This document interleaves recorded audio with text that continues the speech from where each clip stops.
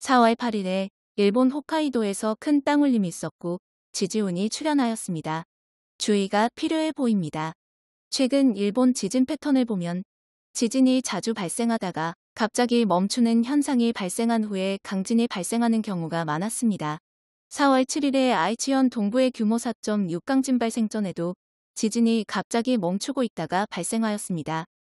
4월 8일에 이시카와현 노도 지역의 규모 4.2의 강진 역시 약 12시간 동안 갑자기 지진이 발생하지 않다가 지진이 일어났습니다. 지난달 3월 16일에 동북 지역 후쿠시마 앞바다의 강진 역시 마찬가지입니다. 3월 16일은 일본 시마네현에서 지진이 한 번만 발생한 후에 역시 12시간 후인 저녁 11시 36분에 후쿠시마에서 규모 7.4의 강진이 발생을 하였습니다. 지진이 갑자기 멈추면서 조용할 때에 주의해야 하겠습니다. 그리고 4월 8일에 대만에서 규모 5.7의 강진이 발생을 하였습니다. 지난달 3월 22일에도 대만에서 규모 6.6의 강진이 발생한 후에 일본에서도 진도사의 강진이 계속 발생하고 있습니다. 4월 8일에 대만에서 규모 5.7의 강진이 발생하였으므로 일본도 큰 지진에 대비해야 하겠습니다.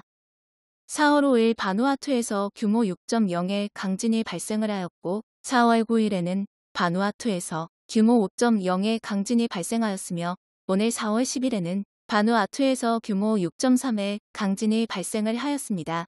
그리고 또한 오늘 4월 10일에 로얄티 제도에서도 규모 5.0의 강진과 통과에서도 오늘 규모 4.5의 강진이 발생을 하였는데 진원의 깊이가 392.1km의 신발 강진입니다.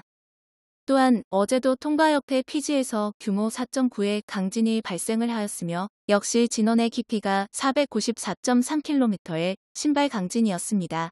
과거 데이터를 살펴보면 이러한 남태평양에서의 신발 강진은 일본에 영향을 주는 경우가 많았으므로 주의가 필요합니다.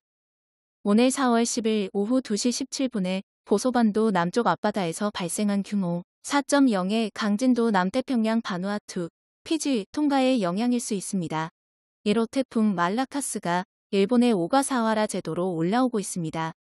남태평양에서 해저 화산들이 계속 큰 폭발을 하면서 괌, 북마리아나 제도, 오가사와라 제도로 올라오게 되면 일본의 강진 발생 가능성이 있으니 4월 17일 보름달 전후로 반드시 주의가 필요해 보입니다.